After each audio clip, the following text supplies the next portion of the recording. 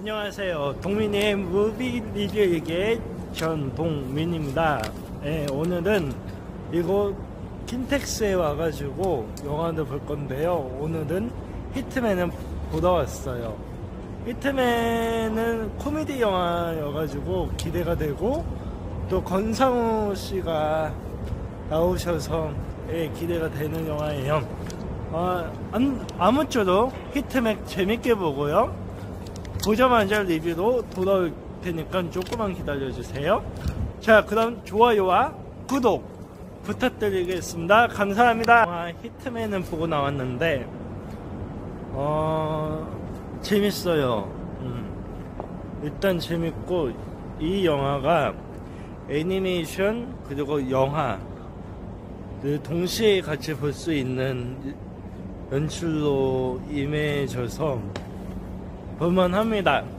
그리고 이젠 5대 만에 스크린으로 복귀하신 정준호 배우님 네, 5대 만에 볼수 있어가지고 좋았고 제가 그 정준호 배우님은 투사불체에서 그 작품 보고 팬 됐는데 정말 오랜만에 보는 배우들이 많이 나와서 정말 반가운 작품이었어요.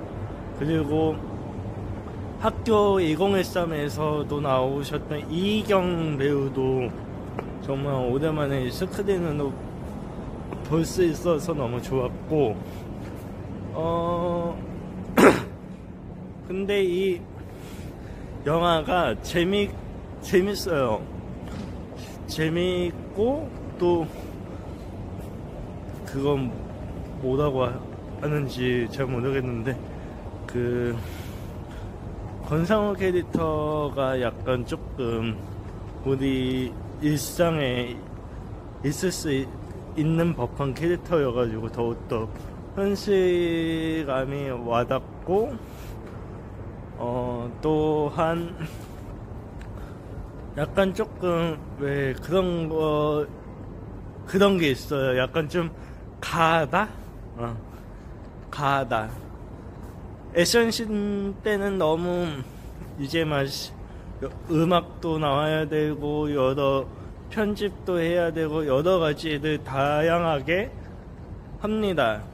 만들어 만들었어요. 근데 아쉬운 점은 이제 너무 가하고 신나 음악 때문에 그게 장점일 수도 있는데 제 개인적인 생각은 약간 어수선합니다. 어수선한 게 아쉬움이 남지만 그럼에도 이젠 영화가 너무 재밌어요. killing time용으로도 볼 수 있고 약간 기분이 아, 다운일 때 그때 보시면 정말 좋을 것 같은 영화라고 생각합니다. 근데 이젠 권상우 배우님 같은 경우 물론 연기 잘해요. 연기는 잘하시는데 약간 좀 아직도 발음이 샌다고 할까?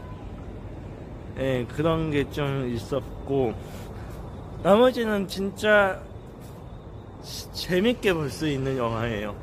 요번 설 영절 때 온 가족이 손을 잡고 극장 가셔가지고 이 영화 보시면은 딱입니다. 즐거운 가족들과 즐겁게 볼 수 있는 영화라고 예, 음, 말씀드리고 싶어요. 아무쪼록 진짜 꼭 보세요. 이 영화 너무 재밌고 시간 가는 줄 모르고 볼 수 있는 영화예요. 그럼 이상으로 히트맨 리뷰 마치도록 하겠습니다. 좋아요와 구독 부탁드릴게요. 안녕.